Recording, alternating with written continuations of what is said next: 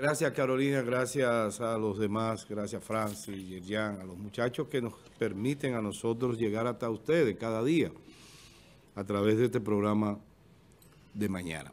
Miren, eh, yo sé que Francis Rodríguez tiene preparado también el tema de la Junta, pero yo le voy a dar otro matiz al acontecimiento que ocurrió ayer en la tarde con la designación de los miembros de la Junta Central Electoral, la nueva Junta Central Electoral que tomará posesión, creo que el día 11, está programada la toma de posesión, la próxima semana. Eh, yo quiero que uh, envíe una foto ahí, a ver si la tienen, para que para mostrarle al público quiénes son exactamente en, en una composición fotográfica.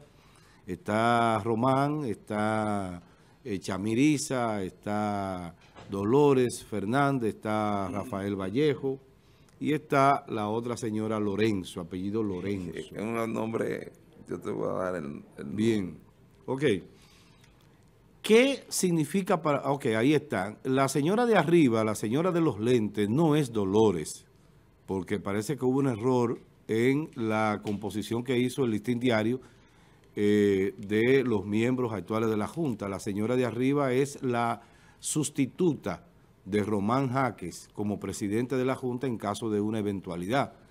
Y parece ser que tiene un nombre parecido o algo, algo provocó la confusión y pusieron una foto de la señora y no la foto que va, que es la verdadera foto de eh, eh, Dolores Fernández. Nosotros ya la habíamos puesto en un momento para que la gente viera el error que se había cometido. Bueno, el hecho de esta Junta, independientemente de la condición de independientes que tengan o de independencia que tengan, independientemente de todo lo que se quiera ver, tiene una connotación que es bueno dejar clara y que es bueno analizar aquí. Y es el hecho de que esta Junta Central Electoral, su designación de alguna manera lanza una serie de connotaciones a la política nacional el panorama político de alguna manera se recompone, se mueve, rejuega con la designación de esta Junta. ¿Por qué? Ese es un punto clave. ¿Por qué? Porque hubo necesidad de manejar acuerdos y compromisos para llegar a eso. El hecho de que la fuerza del pueblo, que vino jugando un ajedrez por los bajos, calladito, con mucha inteligencia. Quítale los bajos, que se oye como si fuera de, de, mal agüero. Ok, calladito, calladito, tranquilo, tácticamente. sí, jugó un ajedrez, logró una mayoría que luego, la discusión de esa mayoría de senadores no era si yo era la primera fuerza o la segunda fuerza. Realmente la idea era que pasara esto que pasó. Tener un voz y voto. Exactamente. ¿Qué pasa? Bueno, se nota que hay una especie de punto de encuentro, que hay una puerta de entrada y salida del PRM con la fuerza del pueblo. O sea, la fuerza del pueblo y el PRM tienen acceso uno a otros. Y eso es, eso es lo que muestra esto que pasó acá. ¿Qué pasa? Que la no designación de Eddie Olivares, vamos a ver lo que él va a decir hoy a las 11 con la rueda de prensa que acaba de convocar y que nosotros presentamos acá con un tuit que trajo Carolina Medina. La rueda de prensa que él va a presentar, habrá que ver qué es lo que él va a decir, pero, pero definitivamente se crea un panorama porque Danilo Medina y, e, e Hipólito Mejía son dos eh, individuos que tienen también una puerta por la que se comunican. Uno entra y el otro sale y viceversa. Lo que quiere decir que el panorama político se recompone o se define un tanto con esta Junta. Luis Abinader, Leonel Fernández, Hipólito Mejía, Danilo Medina. ¿Por qué? Bueno, porque lo que va a pasar ahora a partir de este momento es que el PLD va a notar que real y efectivamente salir de Leonel Fernández no fue una mejor, la mejor decisión. Y prueba de ello es los acontecimientos que se han venido produciendo después de la salida de Leonel del PLD. Forma un partido, un partido que, cree, que queda en un tercer lugar de la, de la manera como, como ustedes vieron las elecciones. Eh, al final de las elecciones, los que ganaron en el PLD algunas curules se van para la, para la fuerza del pueblo. O sea, se está convirtiendo en una, en una entidad política que poco a poco va desplazando al PLD como organización política. ¿Y qué va a pasar? Bueno, hasta ahora, hasta este momento, porque los análisis hay que hacerlo en un momento, las circunstancias políticas pueden cambiar en poco tiempo, y entonces lo que yo diga hoy probablemente mañana ya no tenga efectividad por algún cambio que se haya producido, como el hecho de esta Junta implica un enfrentamiento frontal entre dos aliados y dos aliados, aparentemente, ¿verdad? Aunque el, el PRM tiene por obligación como partido de gobierno... Repíteme eso. Dos. Dos aliados y dos aliados. Muy bien, eh, eh, interesante. Sí, sí. Aunque hay una cosa y es que... Te refiere a los aliados entre Hipólito y Danilo y entre Abinader y Leonel. Sí, aunque Abinader tiene que hilar fino con eh, Leonel Fernández por lo siguiente. Leonel Fernández aspira a que en el 24 sea el presidente.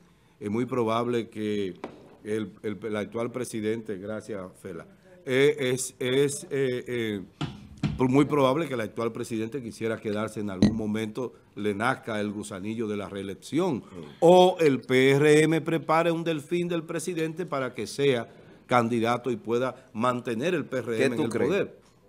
No, yo pienso que él se, quizá lo más indicado es que él se, se presente. ¿Y el delfín? ¿Está ahí nadando? Bueno, está bien. Eh, ¿De Hipólito? Sí, sí, sí, también. ¿Y de los Vicini? Pues, exactamente. Que es el actual eh, ministro, de, turismo. Sí, sí, es así. David Collado. Es así. Lo que quiere decir que aquí tendremos eh, ese panorama político. Por eso ustedes verán en lo sucesivo una serie de acontecimientos que hay que verificar para entonces determinar de dónde viene, de qué litoral viene. A mí me parece que quien no se va a meter en ese pleito así de lleno, no se va a identificar abiertamente, es precisamente el ministro. Me parece que el ministro es más inteligente que eso.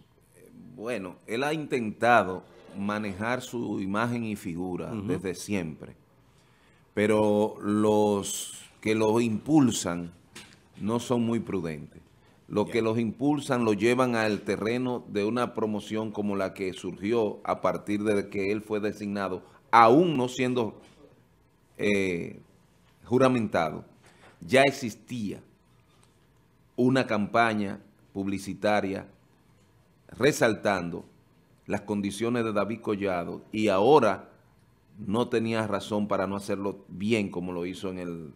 Así fue que se presentó y de ahí em, ellos suspendieron, sí, porque no podían seguirle haciendo sombra al que iba a acceder al poder, al que iba a ascender al poder, que era Luis Abinader. Así es. Y ahí fue que parece que los asesores lo frenaron. Pero nada de prudencia en el grupo. Yo creo que no es de él propio, sino de quien los impulsa. Ya. Pero bueno, yo pienso que él tiene la suficiente inteligencia para poder lidiar incluso... en eso que yo digo esto que dije. en que tenga la inteligencia y se Incluso para lidiar con el grupo que tiene detrás. Incluso para lidiar con el grupo que... Exactamente. Por lo que podríamos estar viendo una lucha entre tres. ¿Verdad?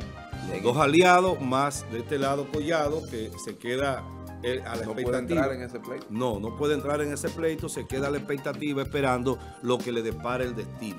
Por eso yo digo, los acontecimientos políticos hay que verlo, hay que verlo en el momento. En este momento ese es el panorama.